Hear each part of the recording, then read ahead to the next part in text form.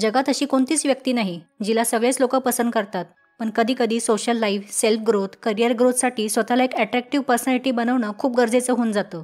ते म्हणतात ना first impression is last impression या फर्स्ट इम्प्रेशनमध्ये आपली उत्तम छाप पडावी त्यासाठी काय करावे आणि काय करू नये चला बघूयात. पॉईंट नंबर एक कंप्लेंट करत बसू नका.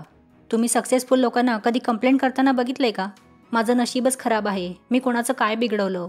ह्या अशा गोष्टी कधीच त्यांच्या तोंडून येत नाहीत. त्यांनी जे डिसिजन घेतलेले असतात त्याची जबाबदारी ते पूर्णपणे स्वीकारतात. सक्सेस भेटलं तर इतरांना क्रेडिट आणि फेल्युअर आलं तर त्याची जबाबदारी ते स्वतः घेतात आणि हीच गोष्ट त्यांना वेगळी बनवते. कोणालाही सारखे दुःखाचे रडगाणे गाणारी तक्रार करत राहणारी व्यक्ती आवडत नाही. त्यामुळे कंप्लेंट करत बसू नका. पॉईंट नंबर दोन कम्युनिकेशन स्किल उत्तम संभाषण कौशल्य एक साधारण दिसणाऱ्या व्यक्तीला सुद्धा वेगळेपणा देऊन जाते. ह्याचे चांगले उदाहरण द्यायचे झाले तर ते आहे नाना पाटेकर. सडेतोड स्पष्टपणे आपले म्हणणे मांडणारी व्यक्ती ही नेहमीच कॉन्फिडंट दिसते.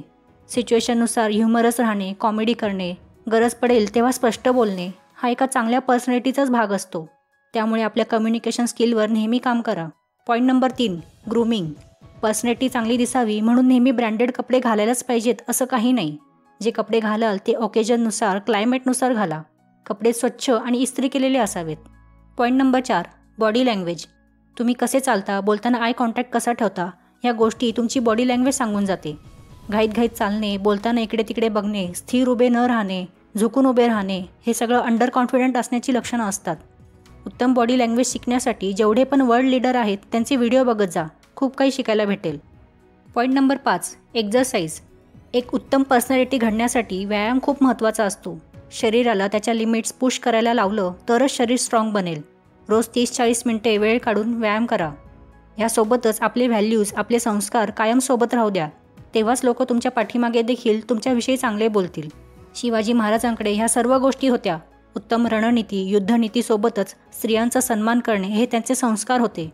त्यामुळे आजही आणि इथून पुढेही ते कायम आपल्या मनात राहतील. त्यामुळे काम करताना असे करा की तुमचं नाव घेताच लोकांच्या मनात सन्मानाची भावना आली पाहिजे. आणि एक चांगली पर्सनॅलिटी म्हणून तुमचे उदाहरण लोकांनी द्यायला पाहिजे.